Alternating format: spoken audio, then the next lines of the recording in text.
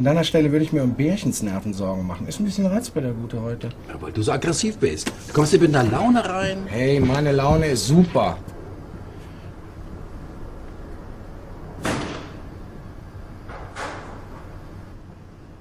Ja, Glückwunsch. Du hast es wieder geschafft.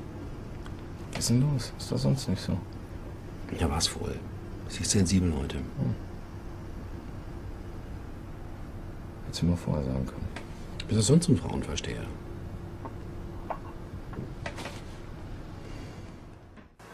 Neigt Ihr Mann zu Gewalttätigkeiten? Okay. Wir haben uns vor ein paar Wochen getrennt. Aber das macht ihn noch nicht zum Mörder. Er war's nicht.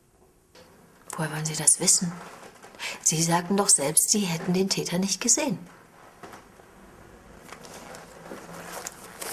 Hier. Es lag in meinem Briefkasten.